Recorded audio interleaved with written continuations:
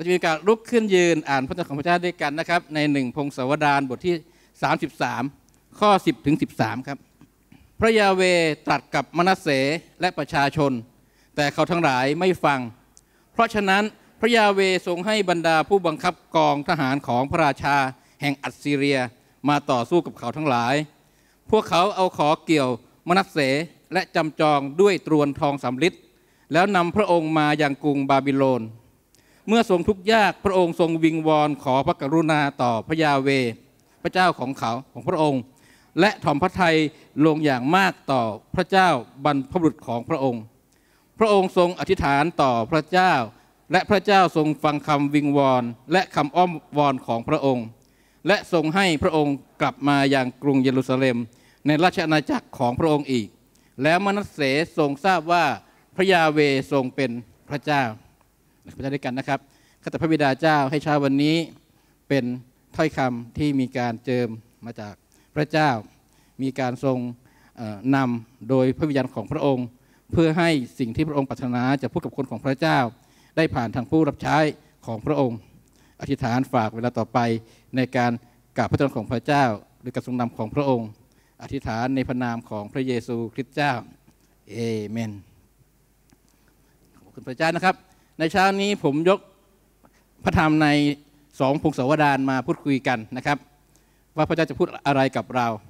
ในพระธรรมสองพงศาวดารนี้นะครับมีทั้งหมด 36 บท ซึ่งเนื้อหาจะครอบคลุมเกี่ยวข้องกับในหนังสือ1ถึง2พงกษัตริย์นะครับ ซึ่งเรื่องราวในหนังสือเล่มนี้นั้นเเริ่มต้นตั้งแต่ความเจริญรุ่งเรืองของอในรัชกาลของกษัตริย์ซาโลมอนนะครับ ซึ่ง ซาโลมอนเริ่มมีการสร้างพระวิหารนะครับ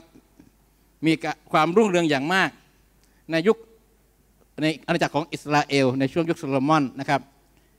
และไปจนถึงความล่มสลายของเอ่ออาณาจักรทั้งฝั่งเหนือ และจบท้ายโดยการล่มสลายของอาณาจักรยูดาห์ในปีกคศ 586 ในพระวจนะของพระเจ้าตอนนี้นั้น ได้พูดถึงว่าเมื่อพระเจ้าทรงในสองพงศาวดารนะครับ พูดถึงว่าเมื่อพระเจ้าทรงปรากฏพระสิริเต็มพระวิหารนั้น กษัตริย์ซาโลมอนได้รับคำตักเตือน ให้เชื่อฟังพระเจ้าทุกประการ และจะได้รับพระพรอย่างมาก แต่ถ้าหากว่าดื้อดึงและขัดขืน ย่อมจะได้รับผลร้ายคือคำแท่งสาปและอันเนื่องมาจากผลแห่งความผิดบาปของกษัตริย์โซโลมอนที่เขาได้ทำและ หันหลังจากพระเจ้านะครับ ก็ทำให้ชนชาติยิวนั้น ได้แตกแยกออกเป็นสองอาณาจักร คือเป็นอาณาจักรฝ่ายเหนือ กับอาณาจักรฝ่ายใต้ อาณาจักรฝ่ายเหนือ หรือที่เรียกว่าอาณาจักรอิสราเอลนะครับ มีเมืองหลวงคือที่สมาเรีย มีกษัตริย์ปกครองทั้งหมด 19 พระองค์ และปรากฏว่านะครับ กษัตริย์ทั้ง 19 พระองค์นี้นะครับทำชั่วในสายพระเนตรของพระเจ้า ไม่ได้เดินกับพระเจ้า ทำให้อาณาจักรทางเหนือนะครับ ก็ล่มสลายลงและสูญหายไปจากประวัติศาสตร์ของชนชาติอิสราเอล ในสองพงกษัตริย์บทที่ 17 ข้อ1ถึง40 เป็นเหตุการณ์กล่าวถึงการล่มสลายของอาณาจักรฝ่ายเหนือ ซึ่งอยู่ในรัชสมัยของกษัตริย์โฮเชยา เมืองหลวงคือกรุงสมาเรียนั้น ถูกล้อมโดยกษัตริย์เซลมานเซอร์ที่ 5 แห่งอัสซีเรียนะครับประมาณช่วงปี7 727 ถึง722 กคศนะครับล้อมไว้ 3 ปี แต่สุดท้ายนะครับ กษัตริย์ซากอนที่สองเป็นผู้ทำลายกรุงเยรูซาเล็มไอ้กรุงสมาเรียลงนะยึดสมาเรีย ประชาชนส่วนใหญ่ถูกกวาดต้อนไปเป็นทาสนะครับ ไปเป็นทาสและอัสซีเรียก็นำคนจากที่อื่น เข้ามาอยู่ในพื้นที่ของอาณาจักรอิสราเอลนั้น และมีการผสม ผสานกันระหว่างความเชื่อครอบครัวการแต่งงาน จนอิสราเอลถูกกลืน ในความเชื่อไปนะครับ ก็ไม่มีการผสมผสานกันระหว่างชาวอิสราเอล ที่อยู่ณตอนนั้นกับคนที่เข้ามาใหม่ๆ กลายเป็นลูกผสมเป็นลูกครึ่ง ทั้งความเชื่อและเชื้อชาติ เขาเรียกคนทางนี้ว่าชาวสมาเรีย ซึ่งเราเห็นว่าในพระคัมภีร์ใหม่นั้นจะเห็นว่าคนยิวไม่ยอมรับชาวสมาเรีย นี่คือคนอิสราเอลทางตอนเหนือที่ต้องสูญสลายไป เพราะผู้นำกษัตริย์ไม่ได้เดินไปกับพระเจ้า ส่วนอาณาจักรฝ่ายใต้นั้นนะครับ หรือเรียกว่ายูดาห์มีกษัตริย์ปกครองอยู่ทั้งหมด 20 พระองค์ มีอยู่เพียง 8 องค์เท่านั้นที่เป็นคนดีและชอบธรรมในสายพระเนตรของพระเจ้า มีอยู่สององค์ ที่ดีบ้างไม่ดีบ้าง ดีครึ่งหนึ่งไม่ดีครึ่งหนึ่งกลับใจทันนะครับ และส่วนอีกสิบพระองค์นั้น ก็ล้วนแต่ชั่วร้าย ไม่เดินกับพระเจ้าเช่นเดียวกัน และในหนังสือพงสองพงศาวดานี้ก็จบลงด้วยสองเหตุการณ์ก็คือว่า กษัตริย์เนบูคัดเนสซาแห่งบาบิโลนนะฮะได้ยกทัพเข้าล้อมเมืองและทำลายกรุงเยรูซาเล็ม เมืองหลวงของยูดาห์พร้อมกับผู้คนชาวยิวไปเป็นเฉลยจำนวนมาก ในปีคศ 586 พวกเขาตกเป็นทาสอยู่นานถึง 70 ปี และเหตุการณ์ตอนท้ายก็ได้พูดถึงอีกเหตุการณ์ก็คือว่า มีพระราชองค์การจากกษัตริย์ไซรัสแห่งเปอร์เซีย ซึ่งมีชัยชนะเหนือบาบิโลนณเวลานั้นนะครับ ได้ปล่อยคนยิวกลับบ้านสู่กลับสู่บ้านเกิดเมืองนอน และพวกเขาเหล่านี้ก็กลับมาสร้างพระวิหารของพระเจ้า และกำแพงเมืองขึ้นใหม่อีกครั้งหนึ่ง อย่างที่เราจะได้ยินคำเทศนาที่ผ่านมาในเรื่องของเนฮามีนะครับในสองพงศาวดารบทที่ 36 ข้อ 22ถึง23 พูดไว้บอกว่า ในปีแรกแห่งรัชสมัยของไซรัสพระราชาแห่งเปอร์เซีย เพื่อให้พระเจนะของพระยาเวที่ผ่านปากของเยเรมีสำเร็จ พระยาเวทรงเร่งร้าวใจของไซรัสพระราชาแห่งเปอร์เซีย พระราชาจึงทรงให้มีการประกาศทั่วราชอาณาจักรของพระองค์ และยังให้เขียนเป็นลายลักษณ์อักษรด้วยกล่าวว่า ไซรัสพระราชาแห่งเปอร์เซียตรัสดังนี้ว่า พระยาเวพระเจ้าแห่งฟ้าสวรรค์ ได้ประทานอาณาจักรทั้งหมดแห่งแผ่นดินโลกแก่เรา และพระองค์ทรงกำชับเราให้สร้างพันนิเวศแด่พระองค์ที่กรุงเยรูซาเล็ม ซึ่งอยู่ในยูดาห์มีใครในท่ามกลางพวกท่านที่เป็นประชากรของพระองค์ ขอพระยาเวพระเจ้าของเขาสถิตกับเขา ขอให้เขากลับไปเถิดนี่คือเหตุการณ์ที่เกิดขึ้นในสองพงศาวดาร ทั้งเล่มนะครับ พระเจ้าทรงรักและเมตตาประชากรของพระองค์ พระองค์ทรงมีพระสัญญาที่ดีมีพระพรมากมายให้กับคนของพระเจ้า แต่คนของพระเจ้าที่หลงผิดเดินออกจากแผนการและนำพระทัยของพระเจ้าไม่เชื่อฟัง หันหลังให้พระเจ้า ไปกราบไหว้บูชาพระอื่น ก็นำคำสาปแช่ง มาสู่ชีวิตมาสู่ดินแดนที่พระเจ้าทรงโปรดได้ มอบไว้ให้กับเขา ปัญหาความทุกข์ยากก็ตามมาอย่างมากมาย ความตกต่ำฝ่ายวิญญาณเกิดขึ้น และสุดท้ายความพินาศในบึงไฟนรก นิรันดร์ก็จะเป็นของคนที่เดินออกไปจากนอกทางของพระเจ้า คนอิสราเอลเป็นตัวอย่างให้เราเห็นถึงบทเรียนนี้อย่างมากมายในพระเจ้าของพระเจ้านะครับ การเดินผิดพลาดจากแผนการของพระเจ้า จากน้ำพระทัยของพระองค์ เพราะใจที่ดื้อดึงใจที่ไม่เชื่อฟัง แต่พระเจ้ายังทรงรักและทรงเมตตา พระองค์ต้องการให้ประชากรของพระองค์นั้น ได้รับสิ่งดี ได้รับพระพรตามที่พระองค์ทรงโปรดได้ตั้งวางไว้สำหรับคนของพระเจ้า สิ่งที่พระองค์ทำคือเรียกร้องให้เขาได้กลับมา หาพระองค์มาเดินกับพระเจ้า จากพระคำของพระเจ้าที่เรายกมาด้วยกันในตอนนี้นะครับ เป็นเรื่องราวของกษัตริย์องค์หนึ่งของอาณาจักรทางใต้คือยูดาห์คือกษัตริย์มนัสเสนะครับ กษัตริย์มนัสเสเป็นกษัตริย์ที่ชั่วร้าย เดินหลงผิดไปจากทางของพระเจ้า พระคัมภีร์บันทึกไว้ในสองพงศาวดารบทที่ 33 ข้อ2ถึง6บอกว่า พระองค์ทรงทำสิ่งที่ชั่วร้ายในสายพระเนตรพระยาเว ตามการกระทำที่น่าเกลียดน่าชังของประชาชาติ ซึ่งพระยาเวทรงขับไล่ไปให้พ้นหน้าประชาชนอิสราเอล พระองค์ทรงสร้างปูชนียสถานสูงขึ้นใหม่ ซึ่งเฮเซคียา พระชบิดาของพระองค์ทรงพังลงแล้วนั้น และทรงตั้งแท่นบูชาต่างๆ แก่พระบาอัน ทรงสร้างบรรดาสาวอาเชรา และทรงนมัสการบริวารทั้งหมดของฟ้าสวรรค์ และปฏิบัติสิ่งเหล่านั้น และพระองค์ทรงสร้างแท่นบูชาในพระนิเวศของพระยาเว ซึ่งพระยาเวตรัสว่านามของเราจะอยู่ในกรุงเยรูซาเล็มเป็นนิด และพระองค์ทรงสร้างแท่นบูชาต่างๆ แก่บริวารทั้งหมดของฟ้าสวรรค์ ในลานทั้งสองแห่งแห่งพระนิเวศของพระยาเว และพระองค์ทรงเผาพระราชโอรสด้วยไฟเป็นเครื่องบูชาในหุบเขาบุตรหินโนม ทรงถือเลิกยาม ทรงทำนาย ทรงทำวิทยาคม และทรงติดต่อกับคนทรงและพ่อมด พระองค์ทรงทำสิ่งชั่วร้ายมากมายในสายพระเนตรของพระยาเวทำให้พระเจ้าทรงพระพิโรธ นี่คือสิ่งที่นมัสเสได้ทำต่อพระเจ้าที่ทรงมีเมตตากับเขานะครับ เพราะคำตอนนี้นั้นเราเห็นพระเจ้าได้นำมนัสเสกลับมาอีกครั้งสู่ ความรักของพระเจ้าด้วยนะครับพระเจ้าของพระเจ้าในเช้าวันนี้ เราจึงจะมาศึกษาด้วยกันว่าพระเจ้าทรงมีหนทาง มีวิธีการที่จะนำคนที่หลงผิดกลับใจ ต่อพระหลงผิดหลงไปจากทางของพระเจ้ามากลับใจหาพระเจ้าได้อย่างไร ในวิธีการของพระองค์ หัวข้อคำพิสนาในวันนี้จึงขอใช้ชื่อว่า หนทางการช่วยกู้ ของพระเจ้าต่อคนที่หลงผิดนะครับพระนักของพระเจ้าในวันนี้เราใช้ชื่อด้วยกันว่า หนทางช่วยกู้ของพระเจ้าต่อคนที่หลงผิด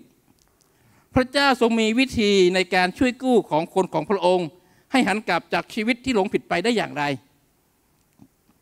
มาดูด้วยกันนะครับ ประการแรกเลยคือว่าพระเจ้าทรงสื่อสารในข้อที่ 10 นะครับ พระยาเวตรัสกับมนัสเสและประชาชน แต่เขาทั้งหลายไม่ฟัง พระเจ้าทรงสื่อสาร พระเจ้าทรงพูด พระเจ้าทรงตักเตือน เมื่อคนของพระองค์ทำผิดไป พระองค์ไม่ได้เพิกเฉย จะบอกว่า เราไม่รู้ว่าเราทำผิดต่อพระเจ้า เรานึกว่าเราทำถูกต่อพระเจ้าแล้วนะครับ พระเจ้าทรงพูดกับคนของพระองค์เสมอ ให้รู้ว่าอะไรเป็นสิ่งที่ดี เป็นสิ่งที่พอพระทัยของพระเจ้า เป็นสิ่งที่ดียอดเยี่ยมในการดำเนินชีวิตในความเชื่อของเรา พระเจ้าทรงสื่อสารเจ้าทรงบอกคนของพระเจ้าเสมอว่า อะไรคือ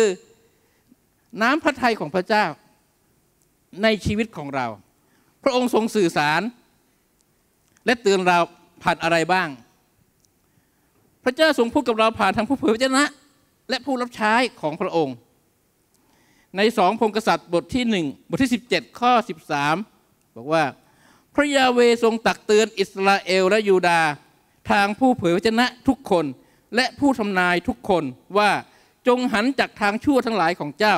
และรักษาพระบัญญัติของเรา และกฎเกณฑ์ของเรา ตามธรรมบัญญัติทั้งสิ้น ซึ่งเราได้บัญชาแก่บรรพบุรุษของเจ้า และซึ่งเราได้ส่งมาอย่างเจ้า ทางผู้เผยชนะ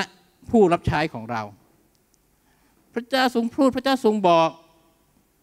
ผ่านทางผู้รับใช้ของพระองค์ มีผู้เผยชนะมากมายที่ทำการของเขาอยู่ ในช่วงประวัติศาสตร์ของอิสราเอล โดยเฉพาะช่วงของการปกครองด้วยกษัตริย์ ยุคสองอาณาจักรนั้น มีผู้เผยชนะอยู่ทั้งอาณาจักรเหนืออาณาจักรใต้ พระเจ้าทรงทำการต่าง ๆ มากมายหลาย ๆ อย่าง เพื่อให้กษัตริย์เหล่านั้นได้กลับใจ ได้หันกลับมาหาพระเจ้า พระเจ้ายังทรงพูดอยู่ในเวลานี้ ในกิจการบทที่ 20 ข้อ 31 อาจารย์เปาโลพูดไว้บอกว่า เพราะฉะนั้นจงตื่นตัวและจำไว้ว่าข้าพเจ้าได้สั่งสอน เตือนสติพวกท่านทุกคนด้วยน้ำตา ทั้งกลางวันกลางคืน ตลอดสามปีไม่หยุดหย่อน นี่คือพระรับใช้พระเจ้าที่ มีภาระใจ พระเจ้าทรงใช้จันโปรในการงานของพระเจ้าอย่างมากมายนำคนมาเชื่อมากลับใจและเสริมสร้างคนที่เชื่อให้เติบโตในพระเจ้า อาจารย์เปโลสั่งสอนตักเตือนคนของพระเจ้า เพื่อไม่ให้เขาหลงผิด หันออกจากทางของพระเจ้า พระเจ้าทรงพูดอยู่เสมอ วันนี้พระองค์ยังพูดอยู่กับคนของพระเจ้า ผู้รับใช้พระเจ้ามากมายในปัจจุบัน ก็พูดถึงสิ่งที่เป็นน้ำพระทัยและแผนการของพระเจ้า ในชุดของผู้ที่เชื่อ และพระองค์ยังทรงพูดผ่านพระวิญญาณบริสุทธิ์การดนจิตดนใจ มาถึงเราทั้งหลาย ในหนึ่งโครินธ์บทที่สองข้อสี่คำพูดและคำเทศนาของข้าพเจ้าไม่ใช่เป็นการพูดชักชวนด้วยปัญญา แต่เป็นการสำแดงพระวิญญาณและฤทธานุภาพ หนึ่งโครินบทที่สองข้อสิบ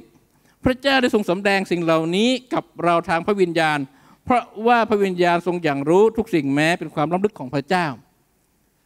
พระวิญญาณของพระเจ้ายังทรงเคลื่อนไหวอยู่ท่ามกลางพวกเรา พระวิญญาณของพระเจ้ายังทรงทำการของพระองค์อยู่ในใจของผู้ที่เชื่อ พระองค์คอยเร้าใจเรา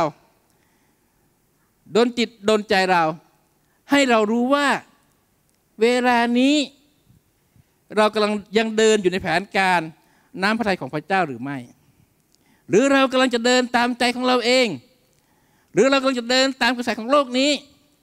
หรือเรากำลังจะตัดสินใจ ในสิ่งที่เป็นการไม่ถวายพระเกียรติแด่พระเจ้าในชีวิตของเรา พระเจ้ายังทรงพูดอยู่ พระองค์ทรงสื่อสาร คนที่หลงไป จะบอกว่าพระเจ้าไม่สนใจ เราจะไม่มีสิทธิพูดแบบนั้น เพราะพระองค์ทรงพูด พระองค์ทรงพูดผ่านผู้รับใช้พูดผ่านพระวิญญาณของพระเจ้าเราใจของเรา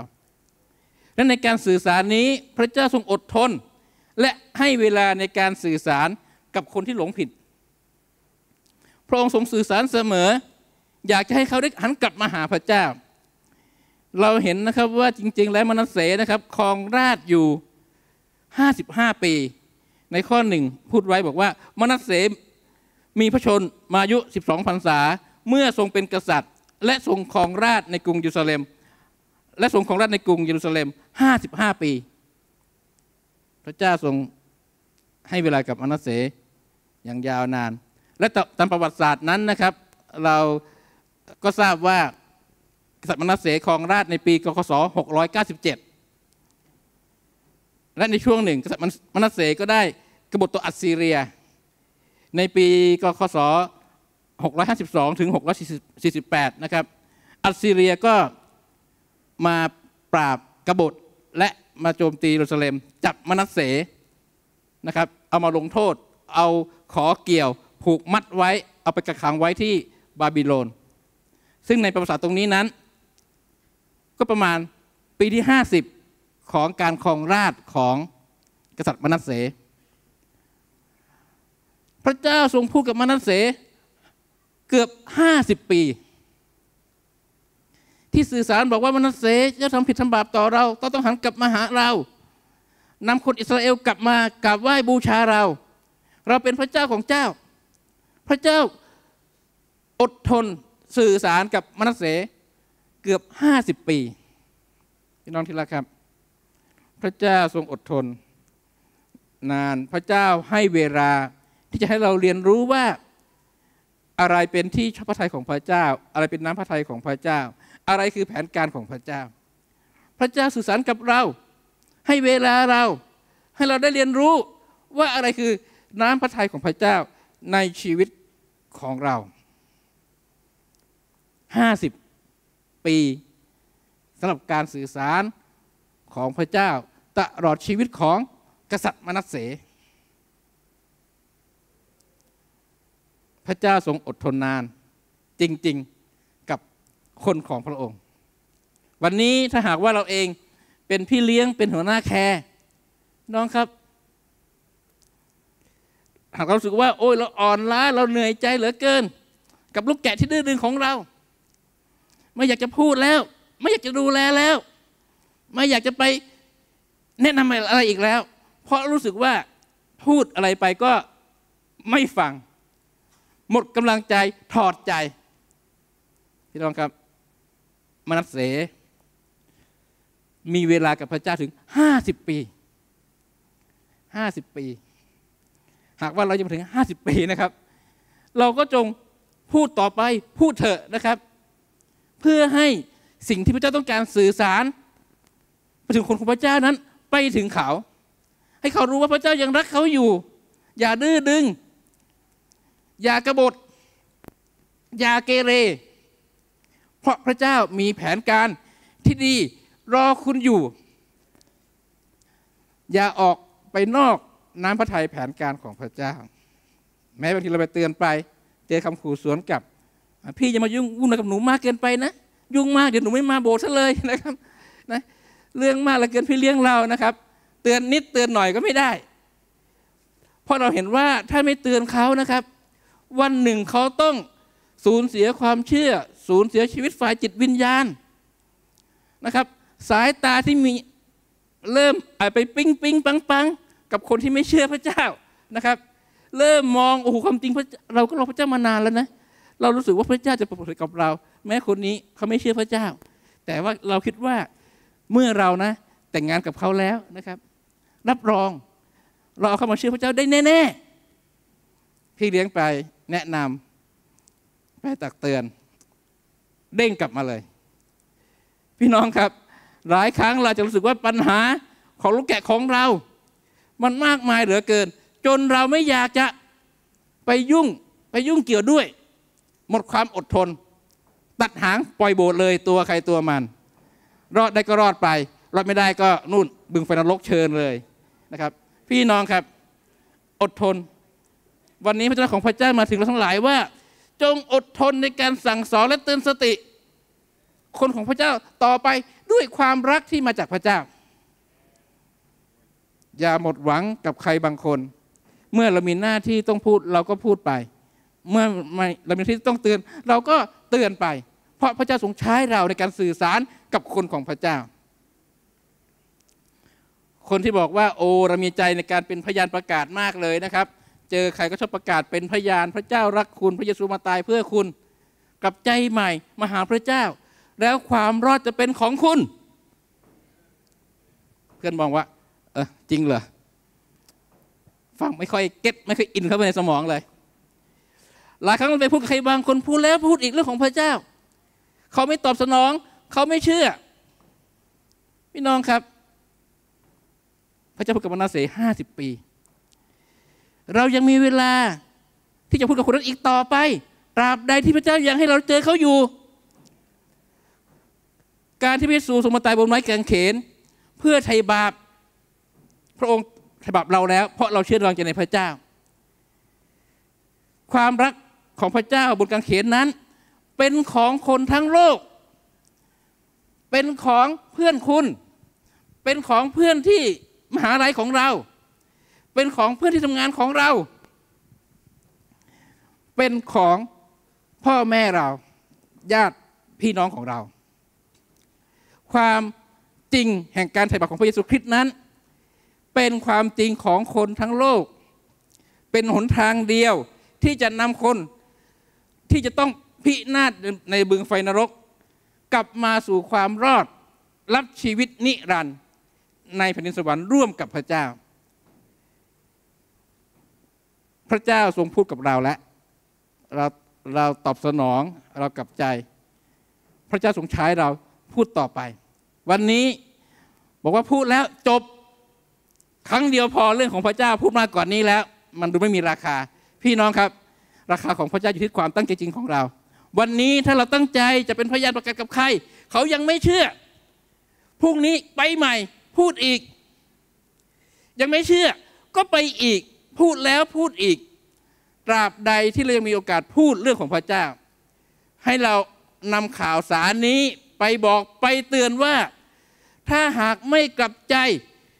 ไม่มาหาพระเจ้า ไม่มาพบกับความรักของพระเจ้า ไม่รับเอาการไถ่บาปที่ไม่กันเขนนั้น ชีวิตของเขาจะจบลงที่บึงไฟนรกนิรันดร์แต่เมื่อหันกลับมาหาพระเจ้า เราจะอยู่ร่วมกันในแผ่นดินสวรรค์นมัสการเฉลิมฉลองกับพระองค์ ชั่วนินิรันดร์เช่นเดียวกันพี่น้องครับ สื่อสารพูดออกไปพระเจ้าทรงพูดกับเรา วันนี้พ่อแม่ อย่าเพิ่งถอดใจเมื่อพูดกับลูกแล้ว ไม่ยอมฟัง ไม่เข้าใจ ไม่รู้เรื่อง สมัยนี้ก็พูดยากเหมือนกันนะครับ ระหว่างพ่อกับแม่ โรคมันทันสมัยไปมากมายเหลือเกินลูกเป็นสิ่งใหม่ๆ รับเข้ามาเยอะแยะทุกช่องทางในชีวิตของเขา แต่ถ้าหากว่าเราเองอยากเห็นลูกเราเขาเติบโตไปในทางที่ดี เดินไปในทางของพระเจ้า มีชีวิตที่ประสบความสำเร็จ เราก็ต้องสั่งและสอนเขา ในหลักการของพระเจ้าในความจริงของพระเจ้า ในสุภาษิตบทที่ 22 6 บอกว่า จงฝึกเด็กในทางที่เขาควรจะเดินไป และเมื่อเขาเติบใหญ่ เขาจะไม่พลาดจากทางนั้น เป็นหน้าที่ของเราพ่อแม่ที่ต้องสั่งและสอน ลูกเราให้เดินไปในทางแห่งพระพรของพระเจ้า จะบอกว่าพูดจนปากจะฉีกถึงใบหูแล้ว ไม่ไหวตัดหางปล่อยเหมือนกัน พี่น้องครับ พระเจ้าให้เราดูแลสิ่งบางอย่าง พระเจ้ามีแผนการที่ดี ให้เราอดทนในการจะพูดและสั่งสอน วันนี้พูดกับลูกเราไม่ค่อยรู้เรื่อง อย่าเพิ่งหมดกำลังใจ ไปดูซิว่าวิธีพูดของเรา มันไม่ถูกใจ มันไม่ทันสมัย มันไม่โดนใจลูกของเราหรือไม่ เห็นหน้าลูกปั๊บหน้าตึงเลย มาดิสิลูกทำไมทำไมทำไมทำไมทำไมทำไมเป็นแบบนี้ หลายครั้งว่าทำไม ลูกก็ปิดใจแล้ว หลายครั้ง การไม่ฟัง ไม่ใช่เพราะว่าเขาปิดหูปิดใจ แต่บางทีการสื่อสาร เราต้องเรียนรู้เช่นเดียวกันว่า เราต้องพัฒนาเข้าใจที่จะสื่อสาร ให้ไปถึงคนที่ต้องฟัง ลูกของเราวัยรุ่น เราต้องทำตัววัยรุ่นบ้างในอนาคตนะครับ ไปเปลี่ยนหน้าทำผมหน่อยก็แล้วกันให้ลูกคิดว่าเราเป็นวัยรุ่นอย่างแท้จริงไอ้เยอะลูกเป็นไงเยอะมีปัญหาอะไรไม่ลูกนะครับ เยอะลูก บอกพ่อมาสิลูก เยอะเยอะนะ พี่น้องครับ หลายครั้งเราต้องมีวิธีการจะสื่อสารออกไป เพื่อให้รู้ว่าเรารักและเข้าใจและห่วงใยเขาสามีภรรยาครับ คุยกันสื่อสารกัน อย่าให้บางสิ่งบางอย่างมาปิดกั้น ปัญหาหลายอย่างไม่ถูกแก้ไข เพราะไม่มีการสื่อสาร พระเจ้าทรงสื่อสารกับคนของพระองค์ ตลอดเวลา ทุกครั้งที่เรามานมัสการพระเจ้าพี่น้องครับ เชื่อพระเจ้าด้วยกันว่า มื่อเราเดินจากโบสถ์นี้ไปในช่วงบ่าย จะมีบางสิ่งบางอย่าง ที่เราจะเปลี่ยนแปลงชีวิตของเรา เพราะว่าพระเจ้าพูดกับเรา ในการนมัสการพระเจ้า ในการฟังคำพิศนาในการฟังคำสอน NBC ให้เราเชื่อว่าจะมีถ้อยคำของพระเจ้า มาถึงเราในบางเรื่องในบางสิ่งบางอย่าง และเราพร้อมที่จะเปลี่ยนแปลงชีวิตของเรา เมื่อพระเจ้าพูดกับเรา อย่างน้อย ทุกอาทิตย์หนึ่งเรื่องหนึ่งอย่าง ที่เราเองนั้นจะเดินออกไปด้วยการเปลี่ยนแปลงโดยพระเจ้าของพระเจ้า พี่น้องเอเมนไหมครับเอเมน พระเจ้าทรงสื่อสารนั่นเป็นวิธีการของพระองค์สำหรับคนที่หลงผิด และจะหันออกจากทางแห่งพระพรของพระเจ้า ประการที่สองพระเจ้าทรงตีสอน พระเจ้าทรงตีสอน ในข้อ 11 บอกว่า เพราะฉะนั้นพระยาเวทรงให้บรรดาผู้บังคับกองทหารของพระราชาแห่งอัสซีเรีย มาต่อสู้กับเขาทั้งหลาย พวกเขาเอาขอมาเกี่ยวมนัสเส และจำจองด้วยตรวนทองสำริดแล้วนำพระองค์มายังกรุงบาบิโลน การตีสอนมีเพื่อให้รู้สำนึกและเรียนรู้ เมื่อสื่อสารแล้วไม่ฟัง เมื่อถึงเวลาก็ต้องใช้ไม้แข็ง อย่ากโกรธพระเจ้า เมื่อพระเจ้าทรงโปรดตีสอนเรา เพราะพระองค์ทรงรักเรา พ่อแม่หลายครั้งพูดกับลูกดีๆแล้ว ยังไม่เข้าใจจะโยกก็แล้ว จะเย่ก็แล้วทำผมทรงใหม่ก็แล้ว อัพหน้าให้เด็กลงก็แล้วนะครับ ยังคุยไม่รู้เรื่อง ก็ต้องมีการตักเตือนตีสอนลงโทษ เพื่อให้รู้ว่าบางสิ่งบางอย่างมันผิดจริง ๆทำไม่ได้ รักรูรักวัวให้ผูก รักลูกให้ตีนี่ภาษิตไทยนะครับ แต่เป็นการตีอย่างมีเหตุและผลและความรักที่มาจากพระเจ้า สุภาษิตบทที่ 22 ข้อ 13 ถึง 14 บอกว่า อย่าละเลยการตีสอนเด็ก เพราะถ้าเจ้าตีเขาด้วยไม้เรียวเขาจะไม่ตาย ถ้าเจ้าตีเขาด้วยไม้เรียว เจ้าจะช่วยชีวิตเขาให้พ้นจากแดนคนตายเอเมนขอบพระคุณพระเจ้าตำรวจก็เตือนแล้วใช่ไหมครับว่าอย่าเล่นเกมโปเกมอนโกในระหว่างขับรถนะครับ เตือนแล้ว เตือนแล้วไม่ฟังก็ต้องจับจับไปแล้วหลายรายเหมือนกัน วันนี้ก็สบเตือนว่าจะเล่นโปเกมอนระหว่างฟังเทศนะครับ เดี๋ยวเพลินฟังไปฟังมาปั๊บกระโดดมาคว้าโปเกมอนบนธรรมะนี่แย่เลยนะนะ ถ้าเตือนแล้ว ไม่ฟังก็ต้องมีการตีสอน ในสุภาษิตบทที่ 29 ข้อหนึ่งบอกว่า คนที่ถูกตักเตือนบ่อยๆ แต่ยังหัวรั้นจะถูกทำลาย ทันทีโดยไม่มีทางแก้ไข ก็มีการ ผมชอบในฉบับแปลเดิมคือในปี 1971 นะฮะ ฉบับแปลปี 1971 เนี่ยบอกว่า บุคคลที่ถูกตักเตือนบ่อยๆ แต่ยังแข็งคอ ประเดี๋ยวคอจะหักรักษาไม่หายนะครับพี่น้องระหว่างที่ดีก็แล้วกันว่าคำตักเตือนมาถึง ถ้าหากว่าเราเองไม่กลับใจการตีสอนก็จะตามมา เพื่อให้เราเรียนรู้ แต่พระเจ้าทรงควบคุมอยู่ในการตีสอนนั้น พระเจ้าทรงมีการตีสอนที่พอเหมาะ ตีเพื่อให้เจ็บและเรียนรู้ ไม่ใช่ตีเพื่อให้ตาย การตีสอนเพื่อให้นำกลับมาสู่ชีวิต รักษาชีวิตไว้ ไม่ให้ตายฝ่ายจิตวิญญาณ พระองค์ทรงมีวิธีการมากมายสำหรับแต่ละคนไม่เหมือนกัน เพราะฉะนั้นทำไมอย่าบอกว่าพระเจ้าตีเราแรงแรง ทำไมคนนั้นไม่เห็นเป็นอะไรเลย พระเจ้ามีแผนการเจาะจงสำหรับเรา พระองค์มีวิธีการสำหรับเรา มีตัวอย่างเรื่องราวของคนเลี้ยงแกะในดินแดนปาเลสไตน์นะครับ มีชายคนหนึ่งที่เขาได้มาแบ่งปัน แล้วก็เขียนเป็นบทความไว้ที่ชื่อว่าเยชูวาเบนโยเซฟที่เขาได้เขียนบทความเล่าถึงเรื่องราวของการเลี้ยงดูฝูงแกะของเขา ซึ่งไม่ใช่เรื่องง่ายเลย แต่ละวันเขาต้องพาฝูงแกะนะครับ เดินไปวันละหลายหลายไมล์เพื่อจะไปกว่าจะไปเจอทุ่งหญ้าเล็ก ๆ นะครับ มีแอ่งน้ำสำหรับเลี้ยงดูฝูงแกะของเขา และเขาต้องคอยดูแลพวกสัตว์ร้ายที่จะมาทำร้ายแกะของเขาด้วย โดยเฉพาะงูที่มันชอบอยู่ตามรูเล็กๆ ตามพงไอ้ตามตามเอ่อทุ่งหญ้า เวลาแกะไปกินหญ้าเลียมหญ้าเนี่ยงูจะพุ่งมากัด ซึ่งอาจทำให้แกะนั้นบาดเจ็บและถึงกับเสียชีวิตได้ เขาก็พยายามทำเอาน้ำมันเอางุ่นไปหล่อๆไว้ตาม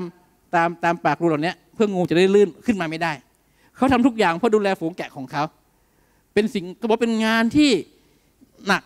ยากและลำบากแต่เขาก็ทำเพราะนี่คือหน้าที่ของเขานี่คืองานของเขา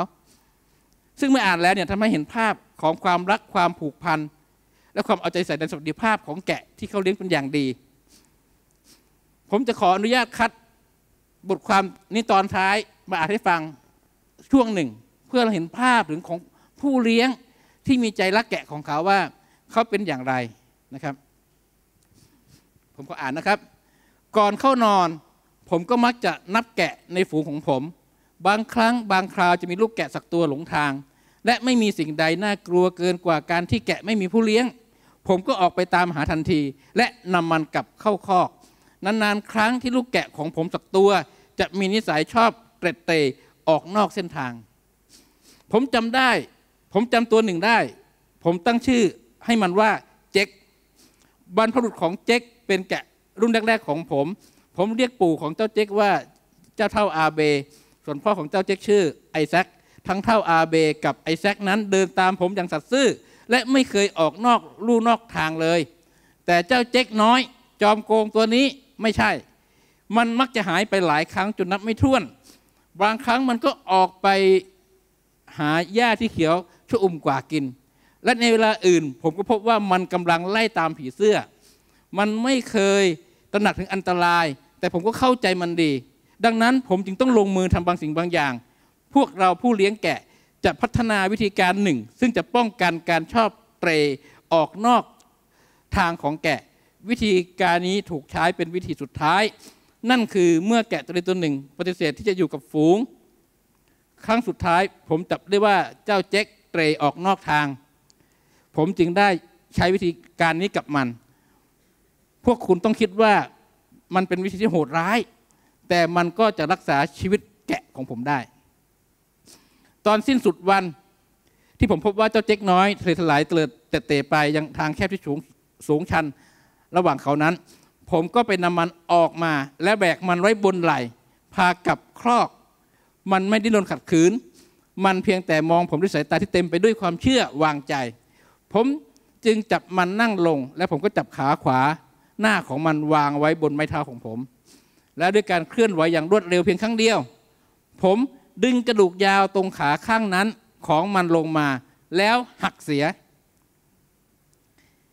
เจ้าเจ๊กดิ้นรนเพื่อจะหนีขณะมองผมด้วยดวงตากลมโตไอ้ยกลมโต ทันใดนั้นมันก็ล้มลง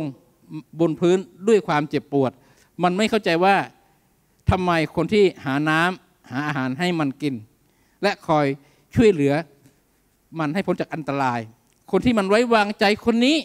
ทำให้มันเจ็บปวดทุกทรมานอย่างที่สุดที่มันเคยประสบ ผมไม่อยากทำอย่างนั้นหรอกครับ แต่ก็จำเป็นต้องทำเพื่อจะรักษาชีวิตของมันไว้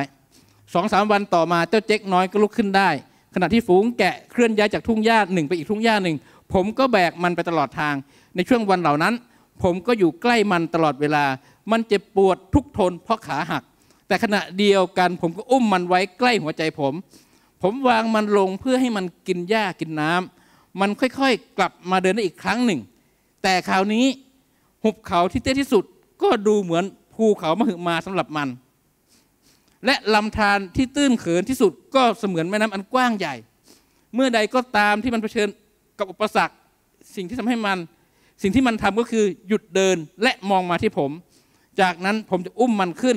และช่วยมันข้ามพ้นอุปสรรคปัญหาเหล่านั้น เจ๊กเรียนรู้ที่จะวางใจและเดินตามผม ผมต้องหักขาของมันเพื่อช่วยชีวิตมัน วิธีนี้ใช้ได้ผล ปัจจุบันนี้เจ้าเจ๊กยังคงอยู่กับผม และเป็นแกะที่สัตย์ซื่อที่สุดตัวหนึ่งของของผมด้วย เอเมน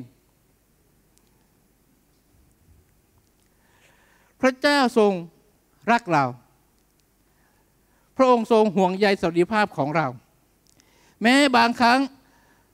พระองค์คงต้องเจ็บปวดที่เห็นลูกของพระองค์ ต้องเผชิญกับความทุกข์ยาก ความเจ็บปวดในชีวิตปัญหาในชีวิต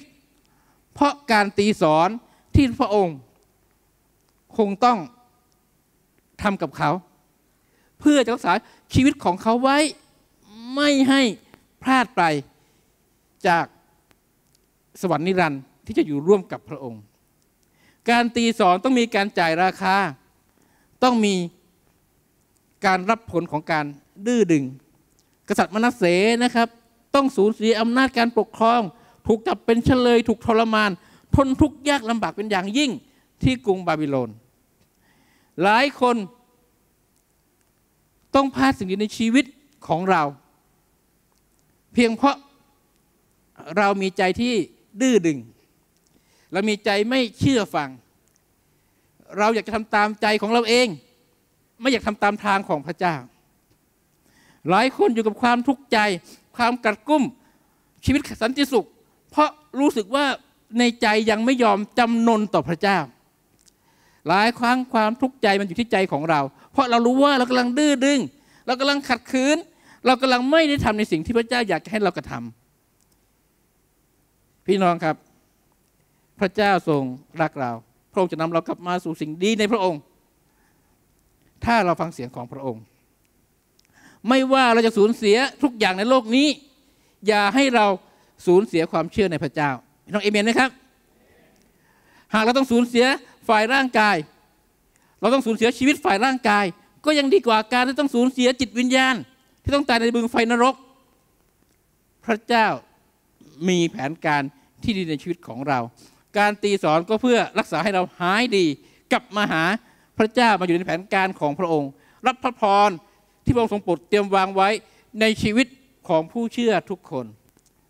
เอเมนทำสรรพระเจ้าพี่น้องบอกคุณท่านครับว่า พระเจ้ารักคุณ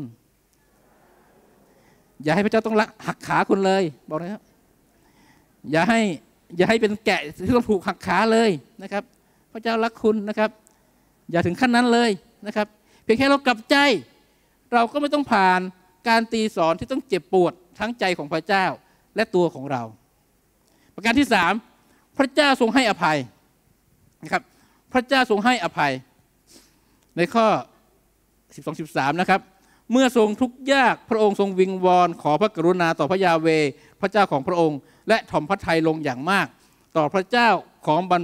พบุรุษของพระองค์ พระองค์ทรงอธิษฐานต่อพระเจ้า และพระเจ้าทรงฟังคำวิงวอน และคำอ้อนวอนของพระองค์ และทรงให้พระองค์กลับมายังกรุงเยรูซาเล็ม ในราชอาณาจักรของพระองค์อีก แล้วมนัสเสทรงทราบว่าพระยาเวทรงเป็นพระเจ้าเอเมน พระเจ้ามีความเมตตา พระองค์รอคอยคนที่หลงผิด รอคอยคนที่หลงทางไป ให้กลับมาหาพระองค์ พระองค์พร้อมให้อภัย การให้อภัยคือการเริ่มต้นใหม่ การให้อภัยคือการเริ่มต้นใหม่ในพระเจ้า พระเจ้าไม่มองที่ผ่านมาเราเป็นอย่างไร เมื่อวันนี้เราหันกลับมาหาพระเจ้า เราคือคนของพระเจ้า วันนี้ก่อนที่จะมาเชื่อพระเจ้า เราจะเป็นคนบาปคนชั่วอย่างไร แต่เมื่อเรามาเชื่อบางใจในพระเจ้า พระโลหิตของพระเยซูคริสต์กางเขนก็ชำระล้างให้เราแล้วขาวสะอาดบริสุทธิ์ เป็นไทยในพระเยซูคริสต์ในพระเจ้าของเราลองเอเมนไหมครับ พระเจ้าให้เราเริ่มต้นใหม่ เรื่องของบุตรน้อยลงหายในลูกาบทที่ 15 พูดไว้อย่างยาวนานผมถูกให้ฟังก็แล้วกันว่าสุดท้ายเมื่อบุตรน้อยคนนี้กลับมาหาพ่อของเขา เป็นยังไงครับ พ่อเขาเห็นบุตรน้อยมาแต่ไกลเดินวิ่งออกไปสวมกอดลูก จัดงานเลี้ยงใหญ่โต หาเสื้อผ้าใหม่มาให้หาแหวนมาให้ใส่ แล้วบอกว่า ลูกของเราคนนี้ เพราะว่าลูกของเราคนนี้ตายแล้วแต่กลับเป็นขึ้นอีก หายไปแล้วแต่พบกันอีก พวกเขาต่างมีความรื่นเริง พี่น้องครับ ในพระเจ้าการให้อภัยคือการเริ่มต้นใหม่ เมื่อเราหันกลับมาหาพระเจ้า หันกลับมาหาพระองค์ พระองค์มีสิ่งดีรอคอยเราอยู่ พระองค์ให้เราเริ่มต้นใหม่ ในสิ่งที่พระทรงโปรดได้จัดเตรียมไว้สำหรับเรา การอภัย มาจากท่าทีของเราที่หันกลับมาหาพระเจ้า ท่าทีของการกลับใจเป็นอย่างไร หันกลับมาหาพระเจ้าอย่างแท้จริง นี่คือสิ่งเราเองต้องทำหันกลับมาหาพระเจ้ามามองที่พระเจ้า ไม่มองสิ่งอื่นอีกต่อไป ยอมถ่อมใจลงสารภาพต่อพระเจ้าถ่อมใจลงสารภาพ วิงวอนทูลขอด้วยความจริงใจ จริงใจต่อพระเจ้า พระเจ้าทรงเป็นผู้ชันสูตรจิตใจของเรารู้ว่าเราคิดอย่างไร รวมที่8ข้อ27 บอกว่า และพระองค์ผู้ทรงชันสูตรใจมนุษย์ก็ทรงทราบความหมายของพระวิญญาณ เพราะว่าพระวิญญาณของทรงอธิษฐานขอเพื่อธรรมิกชนตามพระประสงค์ของพระเจ้า พระองค์รู้ว่าข้างในใจเราเป็นอย่างไรคิดอย่างไร มีท่าทีอย่างไร ให้เราหันกลับมาหาพระเจ้า พระเจ้ารอคอยที่จะให้อภัยเราอยู่ ผลที่เกิดขึ้น เมื่อเราได้กลับใจมาสู่การอภัยของพระเจ้าเป็นอย่างไรพี่น้องอะไรเกิดขึ้น เมื่อเราฟังเสียงพระเจ้า เราเข้าใจการตีสอนของพระเจ้า แล้วเราหันกลับมาหาพระเจ้าสารภาพต่อพระเจ้า พระองค์ทรงให้อภัยเราสิ่งที่เกิดขึ้นก็คือว่า เราจะเติบโตเป็นผู้ใหญ่ในความเชื่อมากขึ้น เราจะเข้าใจ หลายคนเป็นลูกก็จะไม่รู้ว่า ทำไมพ่อแม่ พูดแบบนี้ สั่งแบบนี้ทำแบบนี้ไม่เข้าใจ เราจะเข้าใจอีกครั้งหนึ่งอย่างแท้จริง ก็เมื่อเราได้มีโอกาสเป็นพ่อคนเป็นแม่คน แต่ในพระเจ้านั้น พระองค์เมื่อเราผ่านการตีสอน ผ่านการเรียนรู้ เราก็จะเข้าใจพระเจ้ามากยิ่งขึ้น ว่าพระองค์ทรงรักเราอย่างไร เราจะรู้จักพระเจ้ามากขึ้นนะครับ กษัตริย์มนัสเสก็ทรงทราบว่าพระยาเวทรงเป็นพระเจ้ากลับมายอมรับในความเป็นพระเจ้า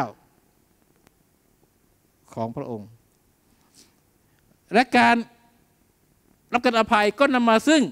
การกลับมาสู่แผนการและน้ำพระทัยของพระเจ้า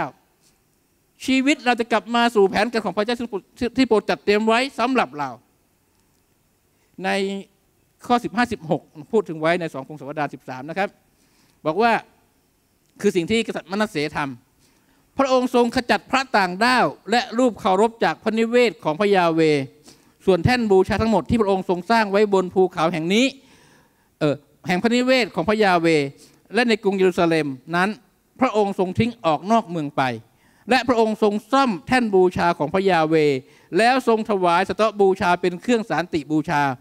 และเครื่องบูชาขอบพระคุณ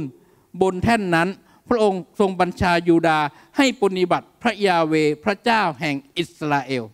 ขอบพระคุณพระเจ้า การรื้อฟื้นกลับคืนมาเมื่อมีการอภัย การเกิดผลครั้งใหม่กลับคืนมาเมื่อพระเจ้าทรงโปรดให้อภัย วันนี้เราทั้งหลายพระเจ้าพูดกับเรา หันหลังกลับจากบางสิ่งบางอย่างที่เราเองยังทำสิ่งที่ไม่ถูกต้องในน้ำพระทัยของพระเจ้า หันกลับมากลับมาหาพระเจ้า มันอยู่ในแผนการของพระองค์ และพระองค์จะทรงโปรดรื้อฟื้นชีวิตของเรารื้อฟื้นจิตใจของเรา สร้างชีวิตของเราขึ้นมาใหม่ การเกิดผลรอคอยเราอยู่ เมื่อเราเองนั้น รับการอภัยที่มาจากพระเจ้า เพราะเราหันกลับมาหาพระองค์ขอบพระคุณพระเจ้าครับพี่น้อง พระเจ้าในเช้าวันนี้ขอบคุณพระเจ้าเมื่อเช้านี้ที่มีการเผยชนะในการนมัสการก็เห็นพระเจ้าทรงโปรดเคลื่อนท่ามกลาง การนมัสการของพระเจ้า พระเจ้าเรียกร้องให้เรากลับมาหาพระเจ้า มาอยู่ในแผ่นกระน้ำพระทัยของพระองค์ ความรักของพระเจ้าที่มีต่อคนของพระองค์ และพระองค์ทรงปรารถนาให้คนของคนที่หลงผิดนั้น กลับมาสู่แผนการและน้ำพระทัยของพระเจ้า ด้วยวิธีการของพระองค์ ที่เราฟังด้วยกันเป็นเช้านี้ก็คือ พระเจ้าทรงสื่อสาร เมื่อพระเจ้าทรงสื่อสารให้เราพร้อมที่จะฟัง เปิดหูเปิดใจฝ่ายวิญญาณของเราฟังเสียงพระเจ้า และพระเจ้าทรงตีสอน เมื่อพระเจ้าทรงตีสอน ขอให้เราต้องได้เรียนรู้ ได้เรียนรู้ว่าความรักของพระเจ้ามีมากมายเพียงไร อย่าให้เราต้องสูญเปล่าไปในค่าใช้ในในสิ่งที่ตัวเองต้องสูญเสียไปเพราะการตีสอนนั้น ให้เราได้เรียนรู้และหันกลับมาหาพระเจ้า และเมื่อพระเจ้าทรงให้อภัย ให้เรากลับมาเริ่มต้นใหม่ ขอให้เราเองนั้นก็พร้อมที่จะเริ่มต้นใหม่ไปกับพระเจ้า อย่าให้อดีตนั้นทำให้เราเองขาดความมั่นใจ อย่าให้ความผิดพลาดความบกพร่องของเรานั้น มันใหญ่กว่าความรักของพระเจ้า จนเมื่อเรากลับมาหาพระเจ้าแล้ว เรายังไม่แน่ใจพระเจ้ารักเราจริงหรือเปล่า วันนี้พระเจ้าบอกว่า การอภัยคือการเริ่มต้น ใหม่ การเกิดผลใหม่ๆ ในชีวิตของเราพี่น้องเอเมนไหมครับเอเมนขอบพระคุณพระเจ้า ในเวลานี้เราจะมีโอกาสไอ้ทางพระเจ้าด้วยกันดีไหมครับ พี่น้องตอบสนองต่อพระวจนะของพระเจ้า ขอบคุณทุกท่านสำหรับการรับชมคำเทศนาของเรา หวังใจเป็นอย่างยิ่งว่าคำเทศนานี้จะสามารถเป็นพระพรช่วยให้ท่านได้รับกำลังใจ ความหวัง และได้รับหลักการจากพระวจนะของพระเจ้าที่เป็นจริงเสมอสำหรับท่านที่ปรารถนารู้จักพระเจ้า ท่านสามารถติดต่อเข้ามาที่คริสตจักรของเรา หรือคริสตจักรที่อยู่ใกล้บ้านท่าน เพื่อเข้าร่วมนมัสการ และศึกษาเรื่องพระเจ้ามากขึ้น พี่น้องคริสเตียนเรายินดีต้อนรับทุกท่านเสมอครับสำหรับพี่น้องคริสเตียน ขอพระเจ้าอวยพรท่านให้บริบูรณ์ด้วยพระพรและมีกำลังในการดำเนินชีวิต เพื่อเราจะมีส่วนในการรับใช้พระเจ้า และเสริมสร้างคริสตจักรท้องถิ่นทุกแห่งในประเทศไทย ให้เข้มแข็งและเติบโต ขอพระเจ้าอวยพรครับ